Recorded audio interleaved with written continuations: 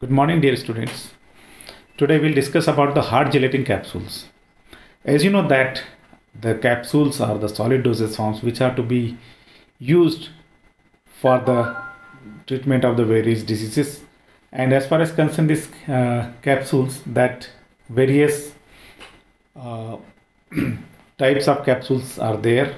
Basic broadly, you can uh, you can divide into two categories. First one is the hard gelatin capsules and the next one is the soft gelatin capsules. Today we'll discuss about the hard gelatin capsules. We'll uh, study that this lecture will be focused on the following points.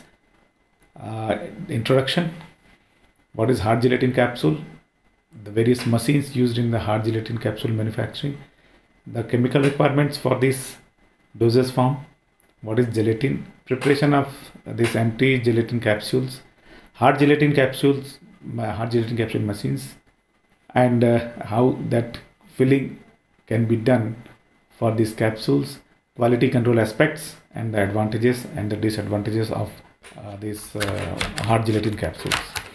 So, coming to the first first one, what is capsules? Capsules are solid dosage forms in which the drug substance is enclosed within either a hard or soft uh, soluble cell, usually formed from gelatin. The term capsule is derived from the Latin word capsula, meaning a small container. You all are aware of that. What is capsule? And all of you have uh, taken the capsule for the treatment of any uh, problem which you have faced. The first capsule prepared for gelatin was a one piece capsule and patented in the France by Mothes and Dublanc in 1834. Today, the capsules may be classified as either hard or hard or soap depending on the nature of the cell. Most capsules of both types are intended to be swallowed swallowed whole. However, some soft gelatin capsules are intended for rectal or vaginal insertion as suppository. So, what is hard gelatin capsule? The hard gelatin capsule consists of two pieces in the form of cylinders closed at one end. The shorter piece is called the cap. The cap fits over the open end of longer piece called body. Hard gelatin capsules are also known as the dry filled capsules or two piece capsule. Hard gelatin capsules consist of two parts known as capsule body, longer part, and the capsule cap, the shorter part. The drug substance is placed in the body, and the caps are uh, the caps are uh, slided over over it, hence enclosing the drug substance. Here, is a picture representing uh, this uh, capsule body and the capsule that uh,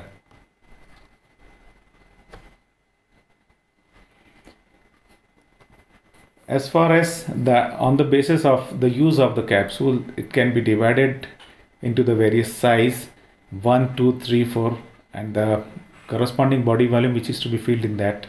It is calculated in the ml the 0.5 in the capsule size number 1 0.37 0.28 and the 0.20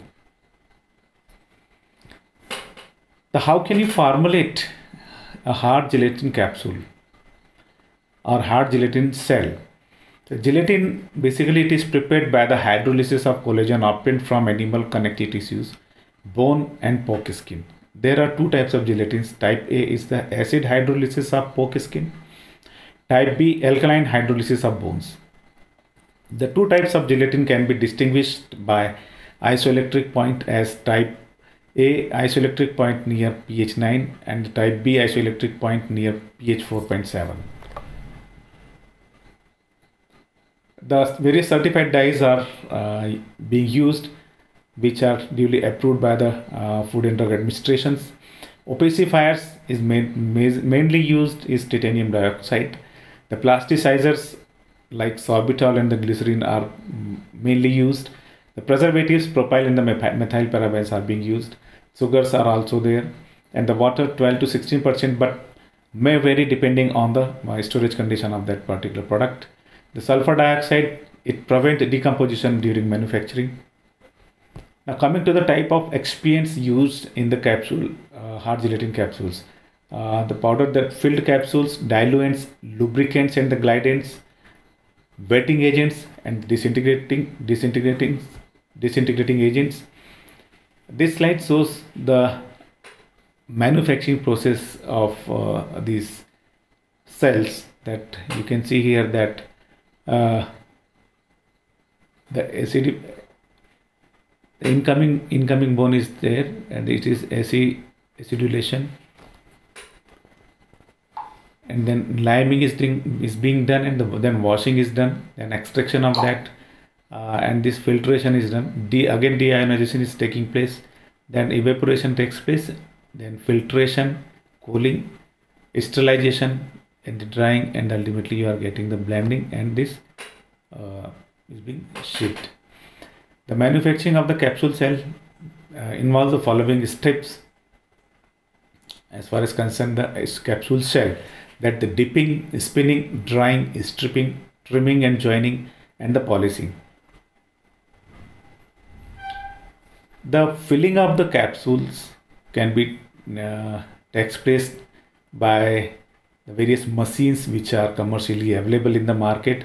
The majorly these uh, the multinational companies are uh, there who are uh, manufacturing these machines. Eli Lilly and Company, Farmatic, Hoff, Hofliger and Karg, Zanasi, Park Davis, Macofar, and the Capsugel are the companies which are involved in that.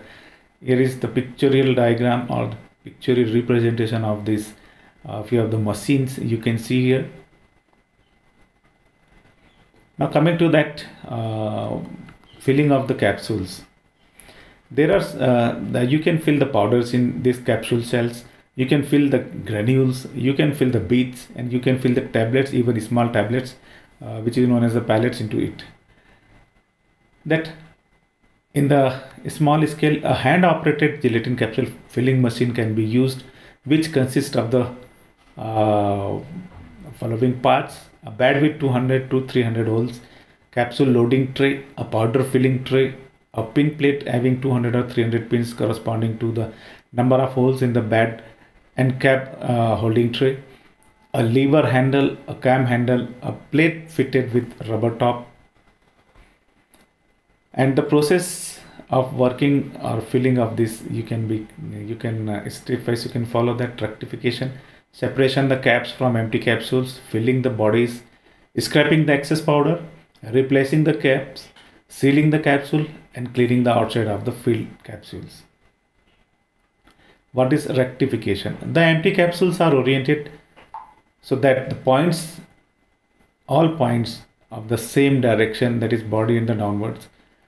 Generally, the capsule pass one at a time through a channel just wide enough to provide grip at, at cap and the capsule will always be aligned body and downwards regardless of which end entered the channel first with the help of specially designated uh, these blades. The rectified capsules are delivered body and first into the upper portion of split bushings or split filling rings. A vacuum applied from below to pull the body down into the lower portion of the split bushings. The diameter of the bush is too large to allow them to follow body. The split bushings are separated to expose the bodies for filling. The filling that uh, the filling principle is that the, because the uh, that auger mounted in the hopper rotates at a constant rate. The rate of the delivery of the powder to the capsule tend to be constant. Flatbed augers are there, screw augers like capsule type 8 filling machines are there. Scraping the excess powder, next step. Replacing the cap, sealing the capsules and cleaning the outside of the filled capsules. That the liquid fill based formulations uh, are also available in this category and the advances and challenges which have to be faced like the technology offers an inherently safer process than powder filled capsules and tablets for highly potent or cytotoxic drugs as dust generation does not occur with liquid fill formulations the process involves the addition and the mixing of the active substance in liquid or molten vehicles which could be a single excipient or a multi-component The drug formulation is then filled into the capsules, which can be sealed if necessary to prevent the leakage. DuoCap technology is also available nowadays that single oral capsule dosage units comprising capsule in a capsule technology such as DuoCap offer a broad range of therapeutic applications. The inner and the outer capsule may contain the, uh, the same active drug providing multiple release profiles from the dosage unit. For example, an immediate release formulation from the outer capsule and a controlled release formulation from the inner capsule. Alternatively, the inner and the outer capsule cells contain different active actives for use with combination therapies or active that are that are incompatible. Here you can see the picture of uh, these capsules. The first one is the uh, liquid liquid type capsule. The second one is the liquid semi solid type, and the third one is the liquid beads are there. The CFS 1000 semi-industrial machine picture is there which is being used for the liquid and the semi-solid formulations. So coming to the another part that is microencapsulation. What is microencapsulation? It is a process by which very tiny droplets or particles of liquid or solid materials are surrounded or coated with a continuous film of polymeric material. The primary reason uh, for micro microencapsulation is to found to either sustain or the prolonged drug release. This can be used for making test and order of many drugs to improve patient compliance. This micro, microencapsulation technique can be useful in the drugs which are sensitive to oxygen, moisture, light, I mean to say that environmental conditions, which can be established by this technique and uh, incompatibility among drugs can be prevented. Many drugs have been uh, encapsulated to reduce toxicity, to avoid GI irritation. For example of uh, uh, this coating material used for the encapsulations are the water soluble resins, gelatin and the PVP. Water insoluble resins that polyethylene, cellulose nitrates, waxes can be used, paraffin wax or the beeswax the enteric resins, uh, the shellac, the cellulose, uh, acetate phthalates are uh, generally used for this. So coming to the next, that what are the filling possibilities for, for this? By using hard gelatin capsule, a variety of the materials can be filled like powders, granules, pellets, liquids, semi-solids and the tablets even. It is probably by using single, uh, using uh, capsule gels, uh, capsules uh, they are the world's most popular brands of uh, two pieces capsules. The powder or the, picture which is showing that various uh, contents that powders or granules in the first one. The second one is the pellets mixture. Third one is the paste. Fourth one is the capsules uh, in that capsule shell and the tablets.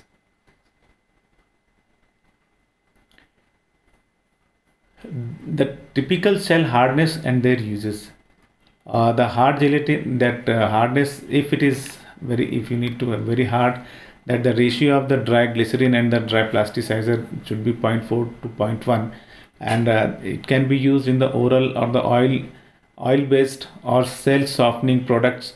And those are destined uh, those are required for primarily for hot and the humid areas. If the hardness is medium that is uh, the uh, the ratio of the this glycerin and the plasticizer is 0.6 is to 1 and this is can be used in oral vaginal or vaginal or uh, vaginal oil based or the water miscible based or cell hardening products uh, in this categories you can use this. And as far as this uh, soft gelatin uh, or this uh, when the hardness is soft in that condition you can uh, you can use the ratio of this glycerin as the plasticizer 0.8 is two 1 and it can be used in the vaginal or the water miscible based or cell hardening products. Those um, intended primarily for the cold dry areas. The you can uh, when you're manufacturing you you you must you have the duties to um, must keep a check on the quality control of these capsules and the various uh, tests to be performed. Uh, Basically, the close length test can be performed. The shape, size, and color. These points are to be evaluated. Thickness of the capsule cell, content of the API, wet variation, uniformity of content, disintegration test, dissolution test, and the stability test to be performed. The advantages of the hard gelatin capsules, you can uh, uh, say that it is easy to swallow, it has the masking capacity, it protects the medicaments from the environmental uh, damage or the degradation. It can be therapeutically inert it is therapeutically inert and easy to digest so there is no problem for using uh, these capsule cells. Easy to handle and carry. Different sizes are available according to the need. Product identification is easier uh, it provide enteric and the sustained release effects also. You can prepare the tablet uh, these uh, uh, various drugs uh, which are to be intended for the enteric and the sustained release. So you can use this sustain this uh, hard gelatin capsules for that production of formulation of those category drugs. You can prevent it from the moisture from the atmosphere. You are not required there is no need of complicated machinery. Easily you can use uh, the machines are not that much complicated. Means it is not required any special training for the operator or the chemist. Uh, that the filling uh, you can achieve the filling of incompatible substances uh, in the hard gelatin capsules.